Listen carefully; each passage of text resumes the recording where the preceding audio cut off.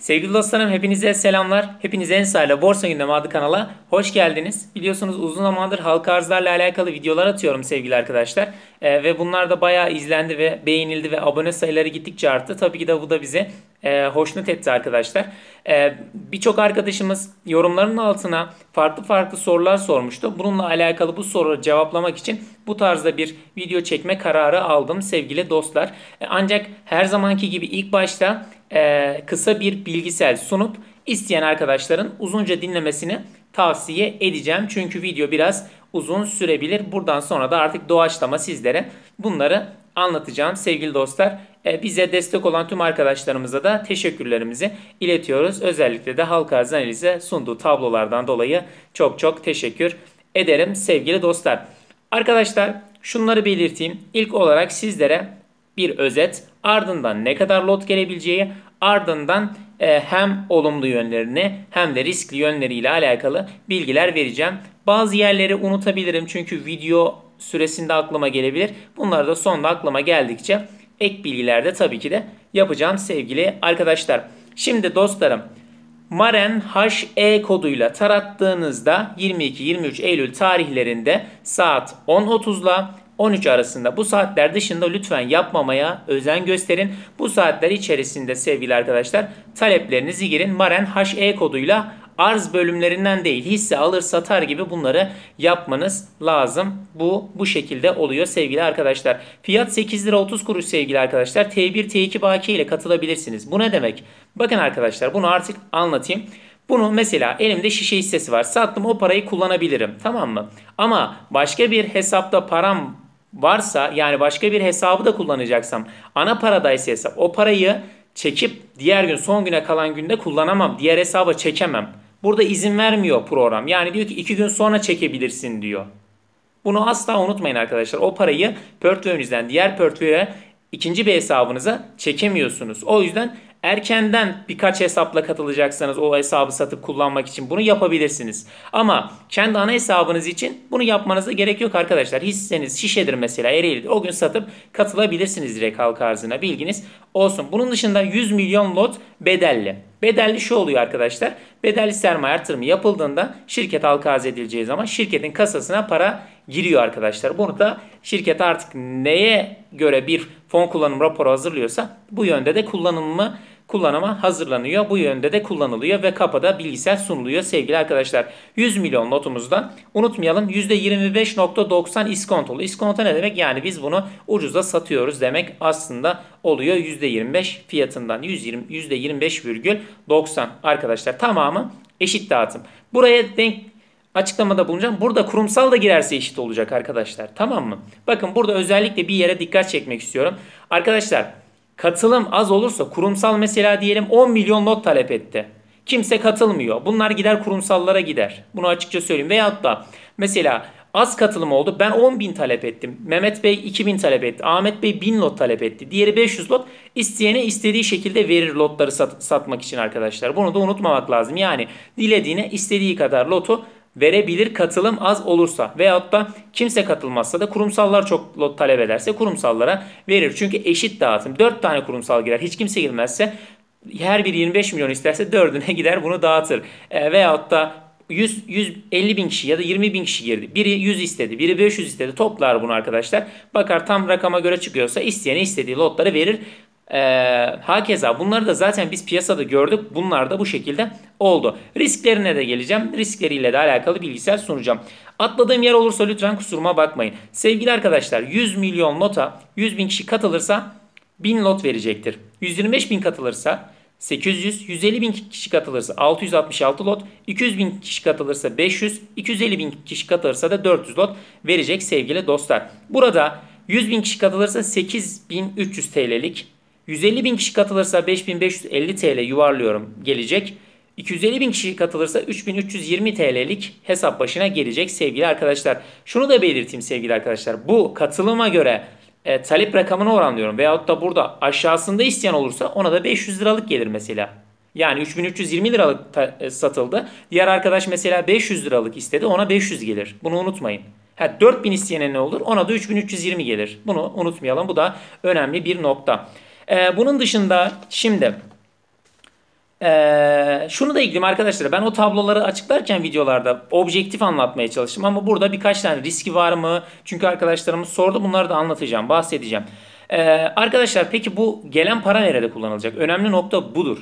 Gerçekten yatırım yapılacak mı bu parayla? Çünkü cebimizden çıkarıyoruz. Bankadan istemiyorlar. Niye? Faiz var, şu var, bu var. Bundan dolayı istemiyorlar. Finansal borç ödemesinde %20-25, yeni yatırım santral alımında %30-50 arasında kullanılacak para. Geriye kalanı yurt içi e, ve dışı rekabet amaçlı kullanılacak. Bunları unutmamak gerekiyor bu şekilde. Peki mali yapısına baktığımız zaman hatta ilk bir ortaklığa bakalım. Arkadaşlar bunu kısaca özetleyeyim size. Naten, Margün, Esen aynı çemberin içerisinde bulunan şirketler gibi düşünebilirsiniz. Birbirinin iştiraki vesaire birbirinden borç alan, birbirinden şirket alan bir şirket modeli karşınızda duruyor. Bunu bu şekilde özetleyeyim. Çünkü yok %27 pay şu bunlara girmeye gerek yok. Çünkü bu bizim asıl konumuz değil. Açıkça söyleyeyim 187 sayfaya yakın bir izahname vardı. Hepsini okudum arkadaşlar. Detaylı şekilde de baktım. Ee, bunlara değineceğim. Şunu söyleyeyim sadece benim beğenmediğim nokta şu arkadaşlar e, öz kaynak artışında dönem karları yansıyor ya. Oradaki dönem karlarının şirketin hasılatlarından dolayı kaynaklanmaması. Bu mesela şöyle söyleyeyim. Bir şirket vardır. 10 milyon, 2 milyarlık şirkettir. 300 milyon hasılat yapar veyahut da 500 milyon veyahut da 750 milyon hasılat yapar. Bu 90 milyon civarlarında bir hasılat yapmış bu çeyrekte. E tabi 4 çeyreğe getirdik mi zamanla artacağı için bu problem değil ama e, yine de 9 her çeyrek yapsa 9, 18, 27, 36 gibi düşünelim. 360 milyon hasılat. Bu tarz büyük bir şirket için bir yılda bu iyi çok yüksek bir rakam değil. Bunu açıkça belirteyim sizlere. Daha iyi rakamlarda olan rakamları olan şirketler de tabii ki de var. Bunu finansal bilgi olarak sunuyorum sizlere. Yanlış anlamayın. Halka arzlarda e, birçok halka arzda e, o kadar boş şirket vardı ki tavan tavan gittiler mesela. Ben sadece bilgisayar olarak bunu sunmak istiyorum sevgili arkadaşlar. Dediğim gibi arkadaşlar böyle bir mali yapısı var. Mali yapısından bahsedelim.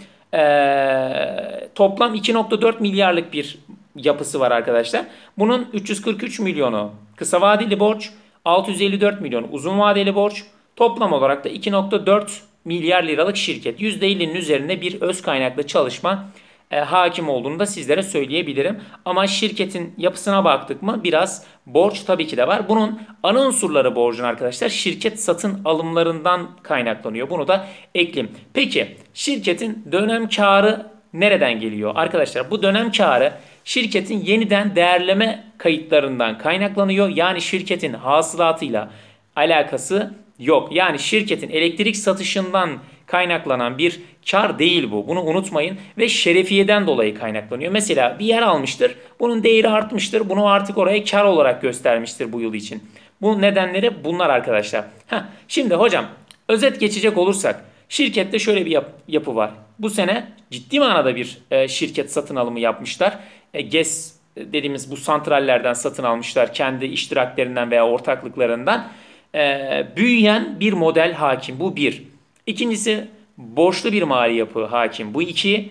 Üçüncüsü hasılat olarak şirketin büyüme potansiyeline göre çok büyük bir hasılat meydana gelmemiş. Bu 3. 4 olarak da şirketin dönem karının ana unsuru hasılat büyümesi değil. Bu da 4. Bunu da unutmamak gerekiyor sevgili dostlarım. Bunun yanında dediğim gibi bunlardan da biraz bahsettik. Böyle bir mali yapı karşımıza çıkıyor. Ha, Şirket büyüye, büyüme potansiyeli var mı? Var arkadaşlar. Bunu da tabii ki de unutmamak gerekiyor. Ve geleceğin sektörlerinden biri olduğunu da unutmamak lazım. Peki şimdi riskler ne? Bunlarla alakalı konuşalım. E, ben daha detaya inecektim. Mesela bakın ben şöyle hazırlamıştım hepsini böyle. Bayağı hazırladım böyle. Yazdım tek tek finansallarını da. Ya şimdi halka arzlarda çok fazla finansallara böyle şu şu kadardı bu bu kadardı demek yerine yeniden değerleme kaydından kaynaklanıyor. Şerefiyeden kaynaklanıyor demek yeterli olacak. Yani kısaca şunu demek lazım. Hasılat büyümesinden dolayı yani yaptığı işlerden kaynaklı değil. Yeniden değerleme gibi düşünebilirsiniz. Ee, tabii ben bu hasılat büyümesini e, hoş buluyorum. Ama bu şirket mali yapısına göre yetersiz buluyorum. Bunu da eklemek isterim sevgili dostlar. Şimdi şurada bazı e, bilgiler vardı. Tesisleriyle alakalı ufak bir bilgi verelim. E, 13.3 USD'den alım garantisi var arkadaşlar bu e, güneş enerji santrallerinin. Yozgat, Eskişehir, Afyon, Nevşehir, Konya, Antalya, Ankara, Muğla'da tesisleri var. Ve 11 bağlı ortaklığı var. Diğer ortaklar arasında Neten ve Esen'de BIST'te olduğunu unutmamak lazım.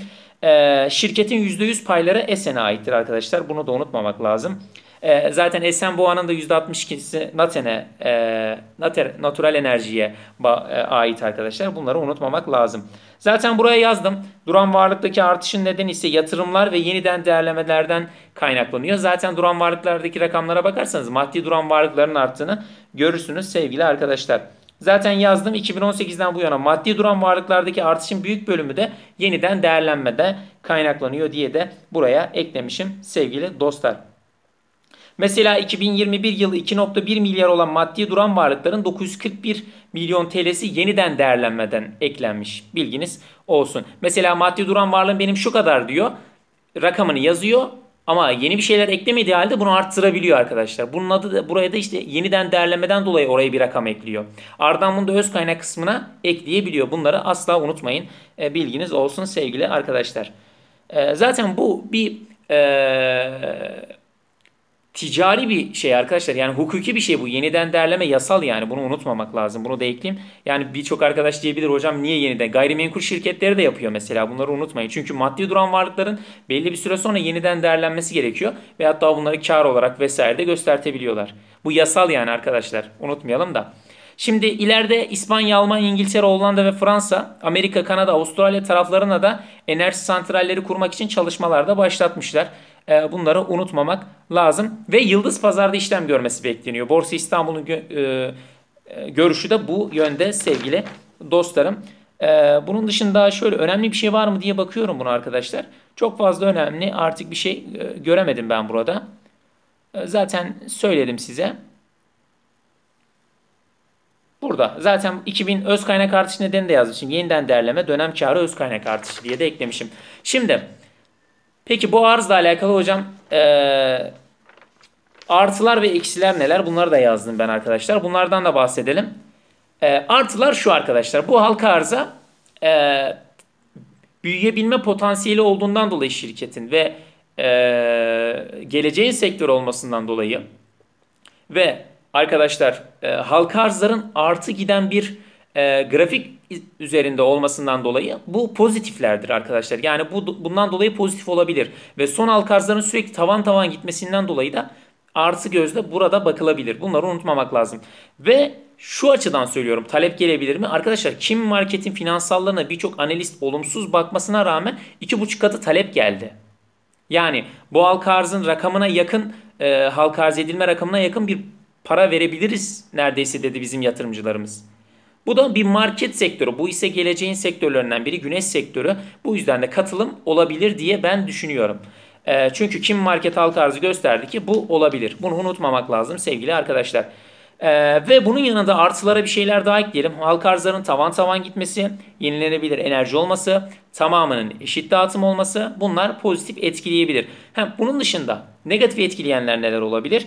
Ee, tavan tavan giden halka arzlarımız vardı. Tezol mesela. Kim Market bu hafta işleme başlayacak.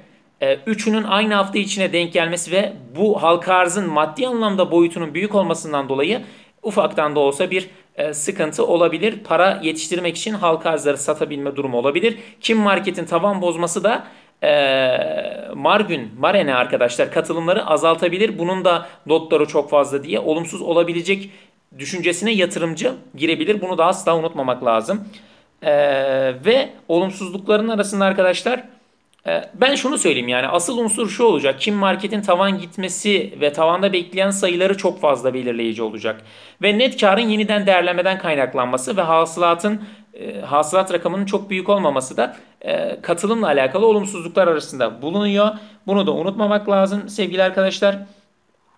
Hem, ve şu olumsuzluklar arasında lot sayılarının az olması. Bunları ekleyelim. Şimdi arkadaşlar bazı arkadaşlar mesela diyor ki mükemmel vesaire. Böyle bir şey yok. Biz piyasanın içerisindeyiz arkadaşlar. Piyasa canlı bir insan gibi. Hoşuna gitmezse buna bakmaz. Mahveder ortalığı. Yani e, hisseleri umrunda bile olmaz. Sizin fikriniz, düşünceniz. Hakeza bu ha, e, BIST'te işlem gören hisselerde de gördük. Mükemmel karlılıklar getiren şirketler var. Gitmiyor mesela. Niye? Büyük tahta. Ha, bu da büyük tahta. Yani yatırımcı gelmezse kurumlar da girmezse büyük ihtimalle olumsuz olacak. Yani bunu açıkça söylemek de gerekiyor. Ha, yatırımcı olumlu bakarsa bu diğer halka arzlara nazaran girerse veyahut da bunla, e, yatırımcı az girip kurumsallar büyük rakamlara koyarsa, kurumsallar ağırlıklı alıp sürerse Bu da gidebileceğinin bir göstergesi olabilir. Bazı arkadaşlar Aydem'le kıyaslıyor. Arkadaşlar mali yapı olarak bu mali yapı olarak önde. Ve şunu unutmamak lazım. E, bu direkt güneş enerjisi sektörüyle uğraştığından dolayı bu da bir artı. Ha, ona bakarsanız Başkent Gaz vardı mesela. O da 9 liralardan 25'lere gitti. Yani bunları unutmamak lazım. Tabii ki de her hissenin artısı olacak, eksisi olacak. Karar sizin, siz karar vereceksiniz. Lütfen kimsenin etkisi altında kalarak yatırım yapmayın. Kendi kararlarınızı lütfen kendiniz verin sevgili arkadaşlar. Bunun yanında ben Kim Market'in görüşüne bakarak arkadaşlar Kim Market'in lotları da çok fazlaydı. Buradaki halka arzın tavan gidebilme potansiyelini hesaplayıp buna göre bir karar vereceğim. ne ben çok pozitifim ne de çok negatifim. Ha, negatif yönleri de saydım, pozitif yönleri de saydım. Lütfen buna göre bir yatırım kararı alın. Kimsenin fikirlerinden etkilenmeyin. Çünkü cepten çıkacak para da sizin paranız, cebe girecek para da sizin paranız arkadaşlar. Böyle bir e, özet geçim dedim, anlatayım dedim. E, sadece yani benim şu an hoşuma gitmeyen durum şey oldu. Lotu çok fazla arkadaşlar bu yani. Başka da e, bu grafik halka arz katılım grafiğine göre çok bir sıkıntı olabileceğini düşünmüyordum. Çünkü mali yapısı da çok fazla sıkıntılı değil yani. Ama dediğim gibi bu, bu 100 bin rakamı, 100 milyon rakamı pardon e, biraz e, düşündürüyor. Ama tabii ki de bu demek değildir ki olumsuz olacak veyahut da direkt olumlu olacak. E, şu an herkes ortada e, buluşmuş durumda. Ama geçmiş verileri dayanak alacak olursam arkadaşlar lotları değil bir pozitiflik ağır basıyor. Bunu da eklemek isterim. Dediğim gibi arkadaşlar bu şekildeydi. Umarım e, bir şeyler anlatabilmişizdir. Buradaki yer alan bilgiler yatırım danışmanlığı kapsamında asla değil. Sadece kişisel fikrimi e, çok belli etmesem de bir şeyler anlatmaya çalıştım. E, katılım yapacak mıyım? Ben yani %55 katılma taraftarıyım. Bakalım nasıl olacak sevgili arkadaşlar. Dediğim gibi bu tarz bir şirkette olumluları da saydım, olumsuz da saydım. Bu yüzden çok gönlüm çok ferah. size de bol bol kazançlar diliyorum. Görüşmek dileğiyle. hayırlı günler sevgili arkadaşlar. Şimdi şunu belirteyim. Bizi Instagram'dan takip edebilirsiniz. Ensar'la Borsa Gündemi. Hayırlı günler, bol bol kazançlar.